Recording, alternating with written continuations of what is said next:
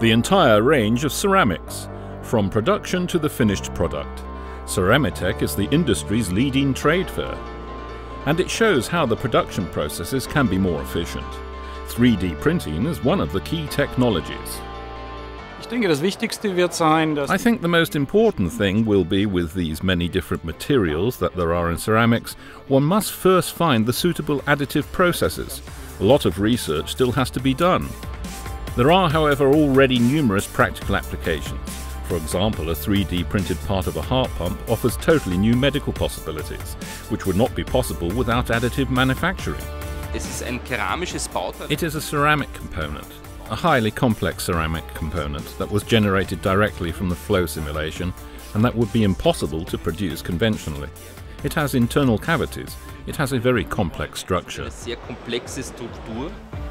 Sophisticated and accurate production processes must always be monitored. New methods, for example, allow ceramics to be checked for possible defects during the printing process. In additive manufacturing, the measurement device can be applied very usefully because we can measure each layer to see if delaminations are present, and if so, the component can be stopped immediately, which can bring great advantages in terms of time and cash. But the industry goes a step further from the manufacturing of different products on a production line up to the complete networking of all production facilities, experts consider Industry 4.0 to be existential. Wir leben einer stark veränderlichen Zeit. We live in a highly variable time, and if you don't learn to adapt quickly to new things, we know what evolution does then. Then sometimes selection hits in hard, and if you can do special things quickly and accurately, then you're amongst the leaders at the forefront, also in the future. Schnell und präzise, dann ist man vorne dabei, auch in Zukunft.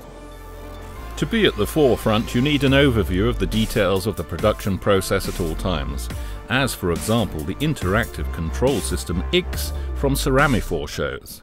It provides all the data for the burning process and energy management via the cloud. The industry will discuss at Ceramitec what determines the future in the market.